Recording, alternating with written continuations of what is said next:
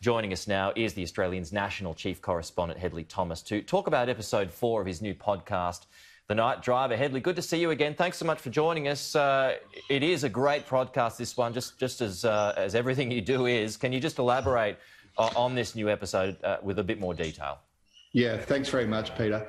Good morning. Uh, episode four, which uh, which will be live this afternoon, it really deals with a number of other stalking incidents in and around the Metro Tavern at the time that uh, Janine uh, disappeared into a small red car. One in particular uh, was related by a woman called Lynette Borland, and just ten minutes before Janine got into that car, Lynette fled uh, down the main street of Bathurst. She ran for her life. She was terrified.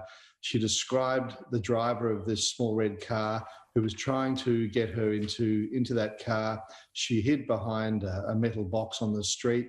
She believes she wrote down the number plate, a pretty good match for the number plate, but uh, the piece of paper was lost and opportunity to catch the person uh, with it. Um, and so we've gone back and looked at her statements, her details, spoken to people who were very close to her, and uh, uh, we're, we're, connecting a lot of the dots there. I've also talked to a woman who used to work at the Metro Tavern, it was known as the Dirty Tav back in the day, a very popular drinking hole of last resort with students and, and locals, townies. And, uh, and this woman has related her own near miss with a, a, a, violent uh, stalker who attempted to sexually assault uh, another woman and uh, could have very easily ended uh, in in tragedy. P- police, homicide cops at the time uh, suspected they could be connected to the night driver. Wow. Okay. Uh, Hedley, short and sweet today. Uh, we'll have to leave it there, but appreciate your time this morning and, uh, and a reminder to our audience to follow the case and download the podcast.